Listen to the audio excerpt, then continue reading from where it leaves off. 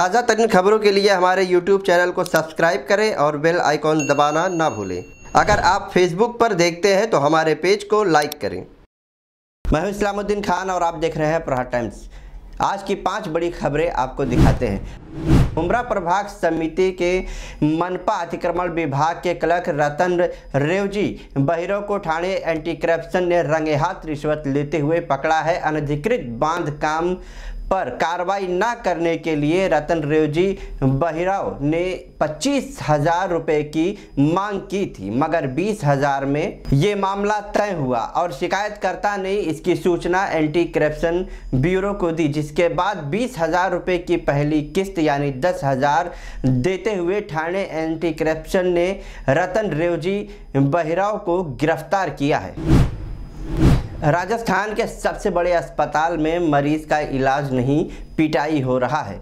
वो भी पिटाई करने वाला कोई और नहीं, खुद एक डॉक्टर है। वायरल हो रहा ये वीडियो सवाई मान सिंह अस्पताल का है। पहले डॉक्टर ने मरीज़ को थप्पड़ मारा, फिर बेड पर चढ़कर मरीज़ की पिटाई की। हालात बिगड़ते देख साथी डॉक्टर ने बीच बचाव किया। मामला एक जून का है, मगर वायरल होते ही वीडियो स्वास्थ्य मंत्री और मानव अधिकार तक पहुँच गया। गहलोत सरकार ने अब इस मामले में संज्ञान लेते हुए जाँच के निर्देश निर्देश दिए।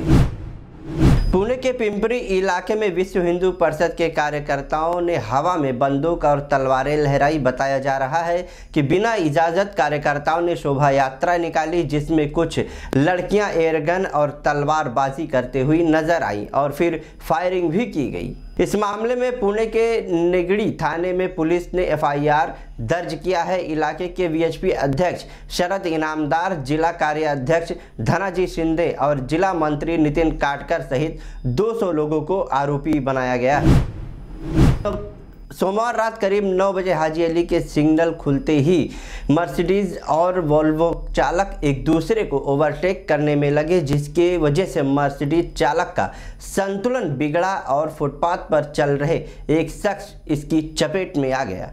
बताया जा रहा है कि दोनों ही गाड़ियाँ काफ़ी रफ्तार में थीं और एक दूसरे को ओवरटेक करने की वजह से फुटपाथ पर चलने वाले 45 वर्षीय राजेंद्र प्रसाद इस वाहन के चपेट में आए और इनकी मौत हो गई। लखीमपुर खीरी के गोला इलाके में कुछ अराजक तत्वों ने पूर्व प्रधानमंत्री स्वर्गीय इंदिरा गांधी की प्रतिमा पर पुरखा पहना दिया। जैसे ही सूचना कांग्रेस के कार्यकर्ताओं को लगी तो हंगामा शुरू हो गया। जिला पुलिस के खिलाफ जमकर नारेबाजी हुई। मौके पर पहुँचे पुलिस ने प्रतिमा से बुरका हटवा दिया। जैसे तैसे कांग्रेसी कार्यकर्ताओं को समझाकर मामले को शांत किया गया। पुलिस ने आश्वासन दिया है कि दोषियों के खिलाफ कार्रवाई की जाएगी।